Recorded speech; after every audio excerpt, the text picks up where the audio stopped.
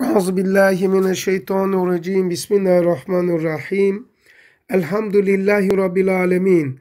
Ve salatu ve selam ala Resulina Muhammedin ve ala alihi ve sahbihi ecmain. Ala Resulina Muhammedin salavat. Sevgili kardeşlerim, e, bazı şeyleri, noktaları hatırlatmak istiyorum size. E, bu şimdi Safer ayının beşindeyiz. Ee, ne demek bu? Senede insan iki defa sıkılır. Senede iki defa sıkılır.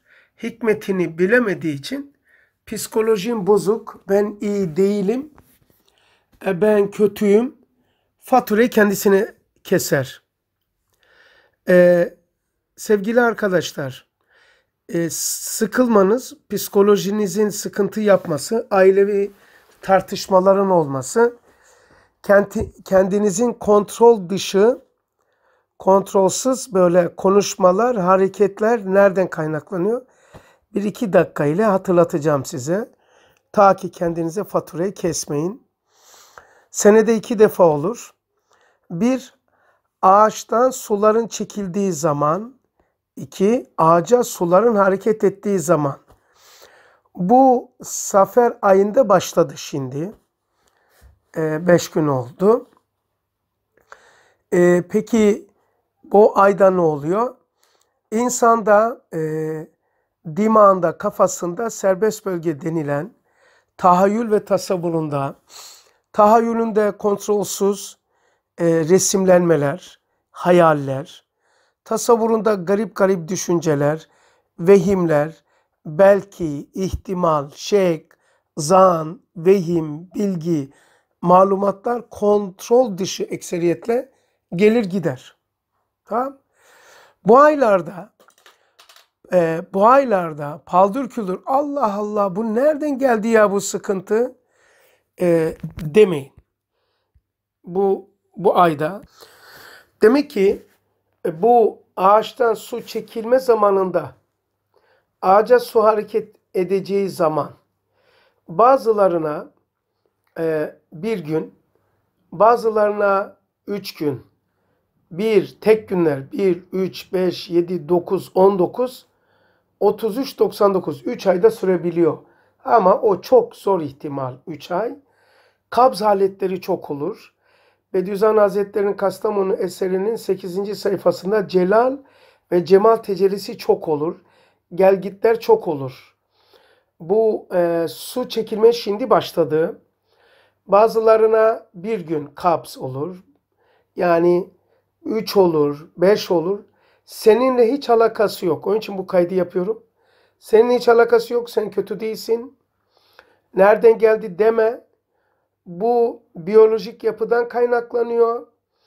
Yani ağaçta su e, çekilme sistemi e, dünyamıza e, haseten ayın ve diğer gezegenlerin yaptığı yakınlık uzaklaşmasından ortaya çıkan şeydir. Demek ki bu günlerde kendine kötü hissedebilirsin istemsiz konuşabilirsin, istemsiz hareket yapabilirsin. Sonra deme Allah Allah ben bunu niye dedim ya, nasıl yaptım ya. Deme. İki. Çok da lazım.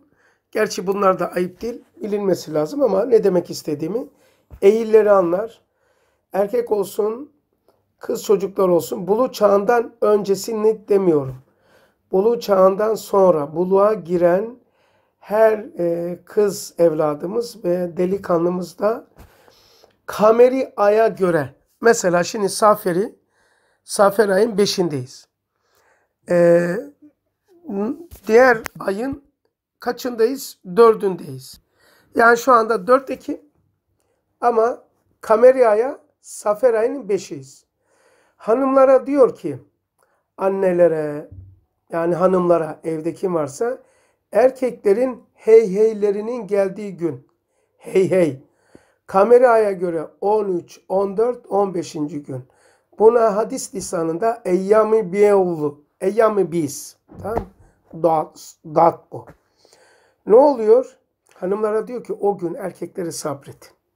ne diyeceğini, ne yapacağını pek kontrolsüz, istemsiz olur. Erkeklere de diyor ki malum günlerinde hanımların e, başlamadan birkaç gün önce de başlayabiliyor. Bir iki gün önce, üç gün önce de başlayabilir. O günlerde istemsiz hareketler ve sözler eder. Bunu kale alma. Yani ne kadar mühim bu? Şu kadar mühim. Allah o günlerde Allah bile oruç istemiyor, namaz kılmasını istemiyor. Ee, oruç istemiyor çünkü ne yapacağın kontrolsüz olacağından sana o gün istikametli, tutarlı bir davranış pek beklemediğim için orucu kaldırıyor. O zaman neler konuşabileceğini, kontrolsüz konuşma yapabileceğinden namazı da kaldırıyor. Yani bu tabi onun için değil de bana bakan yönünü yorumluyorum yani. Allah o gün orucu kaldırıyor. Orucunu diyor başka ayda tutacaksın. O günü ben eğer oruçluysan. Eğer namaz kılamıyorsa namazın kazası yok o günü. Yani onu Allah affediyor. Be kardeşim Allah o gün namazını orucunu kaldırdığı eşine sen nasıl konuşmalarından ve davranışından tamamen mesul tutuyorsun? Tamam. Demek ki o günlerde hep böyle mi olur? Hayır. Böyle olumsuz, hoş olmayan davranışlar, sözlerini buna ver ama diğer hep böyle değil. Bununla alakalı başka bir te söyleyeyim. Hasan-ı Basri Hazretleri'ni biliyorsunuz. Hasan-ı Basri Hazretleri İmam Ali'nin radıyallahu anh talebesidir. Tabi'in imamıdır. Bir de Rabiatul Adevi var, Hazretleri var. Hasan-ı Basri Hazretleri e, evlenme teklifi yapmış Rabiatul Adevi'ye. Ondan sonra e, Rabiatul Adevi Hazretleri buna bir latife yapmış. Seccadeyi havaya atmış. Seccadeyi havaya atmış. Havada durmuş. Demiş oraya çık. Namazı kılarsan orada tamam demiş. O durdurmuş seccadeyi sen de kıl. Sonra devam etmiş. Demiş ki Hasan-ı Basri Hazretlerine bir şey kanunu kanunu imgeliyor. Yani kanunu altını çiziyor. Ben diyor yedi tane köpeği bağladım. Sen bir köpeği mi bağlayamıyorsun? Demekle e, hanımların bu asırdaki savaşı büyüktür. Peki diyeceksiniz ki sokakta yani rezillikler var. Bu kadına mı bakıyor ki? Erkeğe bir bakıyorsa rezillikler kadına iki bakıyor. Kadının açık saçıklığı en büyük kadına darbe vuruyor. Yani başka cihetle onu anlayan anlıyor. Şimdi toparlıyorum. Senede iki defa psikolojin in, psikolojilerimiz iniş çıkışlar yaşayabiliyor. Rampa yapar. Rampa inersin, viraj alırsın, düz gidersin. Endişe etme. Sabret, geçecek. Ne doktora başvur ne ilaç. Eğer geçmişten böyle bir şeyin yoksa, bu aylar başlamışsa hiç endişe etme sevgili kardeşim. Tamam Ha, Eyyam-ı Bizi hakkında da bir iki kelam da edeyim erkekler için. Eski aya göre mesela Safer ayıyız. 13, 14, 15'inde Allah Resulü erkeklere tavsiyesi nedir? Oruç tutun. O gün hakikaten çok insan gergin oluyor. Ee, acayip oluyor. Söylediklerine, hareketlerine de. Çünkü eyyam-ı bir. Eyyam-ı bir. Tamam. Peki başka bir e, yöntemi var mı?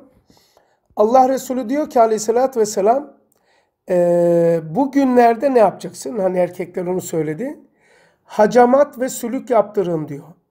Mesela e, ilkbaharda ağaçlara su hareket ederken e, ağacın lifleri yani biyolojinin anlattığın dışında kökteki suların ağacın tepesine kanun ilahi ayın dünyamıza yakınlaşması nispetinde çekim yasasıyla tepeye götürüyor. Tepeye. Peki ağacın kökündeki suyu, ağacın 100 metre, 150 metre tepeye suyu götüren kanunu ilahi senin ayağının altındaki kanı beynine götürmeyecek mi? Hadiste devamında diyor ki bilmana yazın diyor. Yani kan hareket ettiği zaman yani su hareket ettiği zaman helak olursanız sebebi sizsiniz. Peki ne yapacak? Hacamat da olacak. Peki kan hareketi yani suyun aşağıya doğru hareketinde de bu aylarda yani şimdi safer ayı, safer ayı olduğu için demiyorum. Şu anda ağaçlardan su çekilme ayı, insanlardan da su çekilme zamanı. Şimdi e, hacamat bugünlerde ama hacamat yapılıyor. Sülükler yapılıyor hacamatın olmadığı yerlerde sülükler. Sülükle hacamat aynı şey değil. Ha hayvan kan almış. Ha ben e, kupayla kan aldım. Ha sülükle kan aldım. Ha hastaneden kan aldım. Aynı değil arkadaşlar. Şöyle bir şey yapayım. Sülükte maksat kan almak değil. Kan alırken şu anda benim hatırıma kaldığı kadar e, tıbbın söylediği 128 tane 128 tane temel enzim gönderiyor. Detayı olursa çok fazla. Bu Allah'ın hikmeti kör bir hayvana bu özelliği vermiş. Nerede sıkıntı varsa oradan alıyor. E, hacamatta ise hacamatta ise başka bir taraf da var. Ha, hacamatta şöyle bir şey var. Hacamat yapılırken e, kesinlikle e, böyle sohbet etmeyin. Ama dini sohbet olursa olur. Ayet-i Kürsi, Felek Nas yani ağzınız sure okusun. İnsanın içerisinde şeytan varsa, cinli şeyler varsa, cinli şeytanlar okurken hemen kaçışıyor. İnsan okuduğu zaman kaçışıyor. Ki o bedeni terk etmek istiyor. Hacamat anında okuduğun zaman cinler kaçışınca insan insanın insandan çıkmak istiyor. İnsana en uzak yer neresidir? Kupadır. Yani kan kupası. Hacamat aynı zamanda cinli hastalıkların da çok güzel bir tedavisidir. Yani cinler oraya kaçışıyor. Dolayısıyla vücuttaki toksinleri e, yani gerilmekten hasıl olan e, insan geriliyor. Gündelik hayatta vesaire ailevi sorunlarda bu gerginliği o kan teskin ediyor. Bu gündelik hayatın getirmiş olduğu ailevi sorunlar, içsel yapı, çoluk çocuğun, iş vesaire sıkıntılarını da şöyle yönetebilirsin. Uzaktan baktığın zaman arabaya, araba gidiyor, araba şoförü götürüyor. Gir içeriye, arabanın içerisine gir. Arabanın içerisine girdiğin zaman bakıyorsun ki şoför arabayı götürüyor. Yani ne misal bu? Şimdi baktığın zaman insan bedeninin içinde uzaktan bakınca, cahilane bakınca, körü körüne bakınca, e, eğer arkasından melekut işin hakikatin tarafına bakamazsan insan bedeninin içinde. Hayır. Bedeni ve çoluk çocuğu, dünyası, işi, aşı, eşi, atı, her şeyi insanın kendi düşüncelerinin içerisindedir. Bak uzaktan bakınca şoför arabanın içinde, arabanın içine git. Araba şoförün içindedir. İşte bedenin, çoluk çocuğun, aşın, eşin, işin, her şeyin senin düşüncelerin içindedir. Düşüncelerini değiştir, işin de değişir, çoluk çocuk da değişir, her şey değişir. Nasıl değişir? Yani onun sana yaptırıcılığı sıkıntı kalkar. Arkasından hakikati görünce ha böyle olması lazım geldiğini anlarsın, rahatlarsın. Bu noktada yardımcı şu oluyor. Bediüzzaman Hazretleri'nin Risale-i Nur adlı eserinin eğer Asay Musa veya okuyorsan sen bu kitaplardan haberin varsa not alarak okuman, tefekkür ederek okuman Allah'ın izniyle bu süreci çabuk atlatırsın.